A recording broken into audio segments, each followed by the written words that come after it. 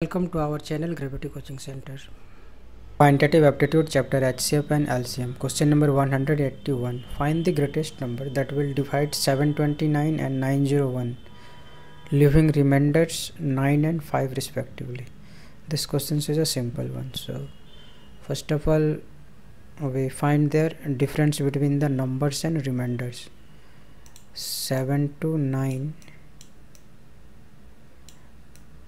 minus 9 equal to and 901 minus 5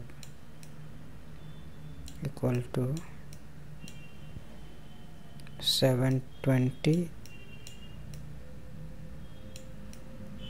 and 896 so now we find the HCF of the difference. So we can find by shortcut method. HCF equal to first we check the both the number is divisible by which numbers? So both the number is divisible by 4 so this one become 180 and 224